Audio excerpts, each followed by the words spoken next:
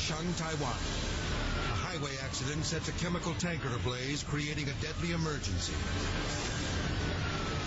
The truck is filled with styrene, one of the world's most dangerous industrial chemicals.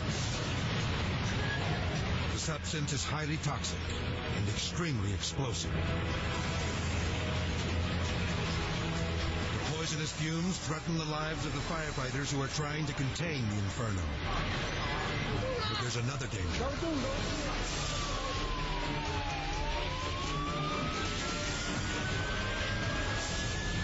The tanker's internal cooling system has failed, and now the styrene is a ticking time bomb. The men use high pressure hoses in an attempt to cool down the wreckage. But they're fighting a losing battle. Suddenly,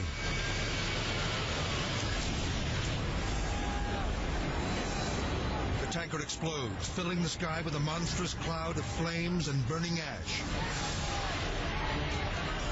Watch again as 4,000 gallons of styrene ignite into a cyclone of fire, raining molten debris down on the helpless firefighters.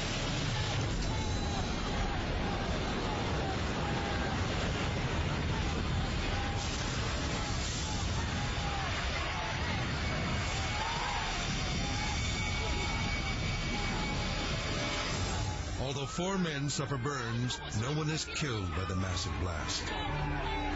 Incredible.